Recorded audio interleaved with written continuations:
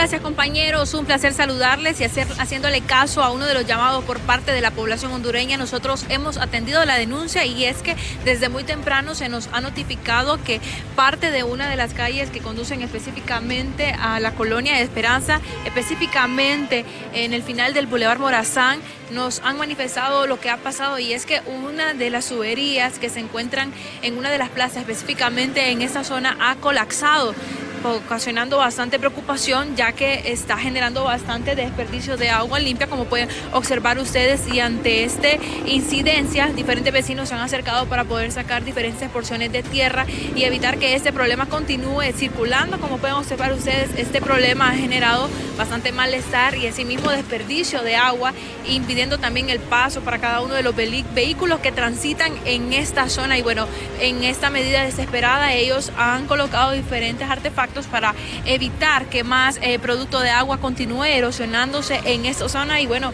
es bastante lamentable este tipo de acciones ya que lo único que hacen es generar un malestar en la población específicamente en estos vecinos que viven y nos manifiestan que este es un problema que usualmente no pasa, sin embargo, desde muy tempranas es, ya está eh, tomando bastante paso, así que lo que hacen es eh, llamar en exhortación a las autoridades de del SANA para que puedan venir a poder realizar la reparación en uno de los tramos, específicamente al final del Boulevard Morazán, en estas colonias que conectan con La Esperanza y asimismo Brisas del Valle. Este es el informe que nosotros podemos darles, compañeros, exhortando y haciendo un llamado a las autoridades por parte de agua para que vengan a poder solucionar este problema donde una de las tuberías que conecta las principales fuentes de agua han erosionado, ocasionando este conflicto y asimismo desperdicio de agua bastante gradual. Con este informe, compañero, yo regreso con ustedes a Servicio Principal.